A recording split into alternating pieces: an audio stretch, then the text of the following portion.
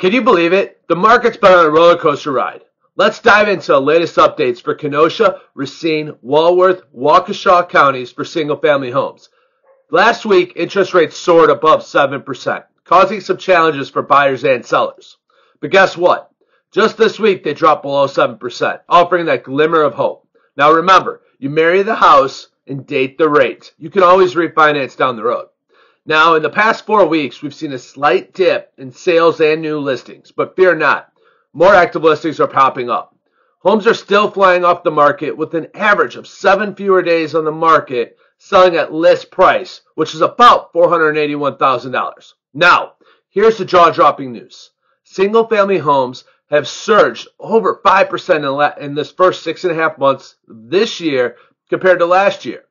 Crazy, right? But still, an amazing time to buy your dream home. So don't miss your opportunity. Give me a call today. Let's get you started. Have a great week.